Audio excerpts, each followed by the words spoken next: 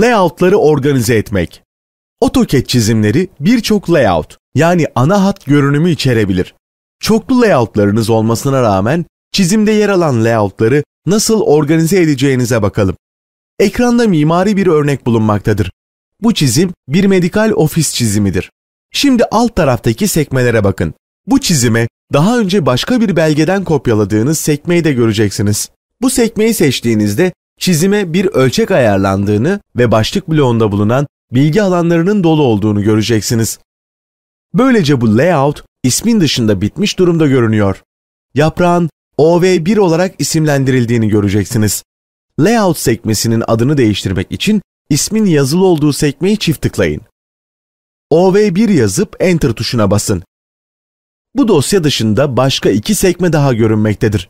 Çiziminize istediğiniz kadar sekme ekleyebilirsiniz. Eğer birçok layout varsa, sekmelerin sıralanmış olmasını isterseniz sekmeyi tıklayıp istediğiniz yere sürükleyerek yerlerini değiştirebilirsiniz. Bu diğer iki sekme kullanılmadığı için silmek isteyebilirsiniz. Bir layout'u silmek için sekme isminin üzerinde farenin sağ tuşunu tıklayın. Ardından açılan menüden Delete seçeneğini tıklayın. Ekrana bir uyarı penceresi açılacaktır. Silmek istediğinizden eminseniz tamam düğmesine tıklayın. Layout 2 sekmesini silmek için aynı işlemi uygulamanız gerekmektedir. Kullanılmayan planları tutmanın bir faydası yoktur. Buna benzer yeni bir layout oluşturmak isteyebilirsiniz. Belki de bu layout'u odaların birine odaklamakta kullanmak isteyebilirsiniz. Bu layout'un bir kopyasını oluşturarak başlayalım. Bunu yapmak için layout'un adının yazılı olduğu sekmeyi tıklayın. Sürükleme işlemini gerçekleştirirken klavyeden kontrol tuşuna basın. Ardından farenin sol tuşunu bırakın. Yeni oluşturduğunuz sekmeyi tıklayın. Burada orijinal planın bir kopyasını göreceksiniz. Buradan bu odaya odaklamak için viewport'un ölçeğini değiştirebilirsiniz. Layers panelinde yer alan Layer Control açılır menüsünü tıklayın. Viewport katmanını açın. Ardından Viewport'a çift tıklayın. Çalışma alanının alt bölümünde bulunan Lock, Unlock Viewport düğmesini tıklayarak kilidi açıp odayı Viewport'un merkezine sürükleyin. Şimdi alt bölümde yer alan açılır menüden ölçeği 3'e 8 olarak belirleyin. Çizimin bu bölümünü biraz daha büyütmek için 1'e 2 ölçeğini tıklayın. Böylece daha iyi görebileceksiniz. Yeniden ortalayın. Viewport'u tekrar kilitleyin. Viewport sınırının dışına çift tıklayarak Viewport'un dışına çıkın. Çizime baktığınızda odanın dışında konuyla ilgisi olmayan bölümlerin göründüğünü göreceksiniz.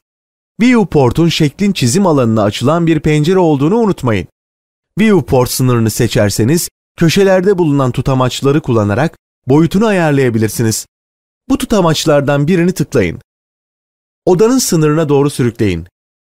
Çalışan nesne kenetleyicisinden dolayı dikkatli yaklaştırmalısınız.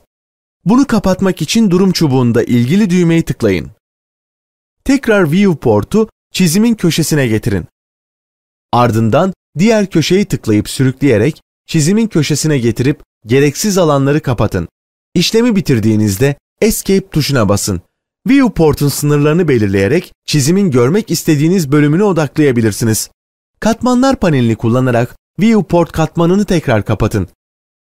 Şimdi layout üzerinde çeşitli düzenlemeler yapacağız. Öncelikle ölçeği 1'e 2 birim olarak değiştirin. Drawing alanına ER1 metnini girin. Metin girme işlemi bittikten sonra Shadow alanlarını 2'ye 2 olarak değiştirin. Title alanına istediğiniz bir başlık metnini girin. Son olarak çizimi uzaklaştırın. Layout sekmesinin adını değiştirmek için bu sekmenin adını çift tıklayın. Sekme adını ER1 olarak değiştirin. Bu planları kullanarak bu çizim alanındaki görüntüyü alabilir ve iki ayrı baskı oluşturabilirsiniz. AutoCAD çizimleri sınırsız sayıda layout oluşturmayı sağlar.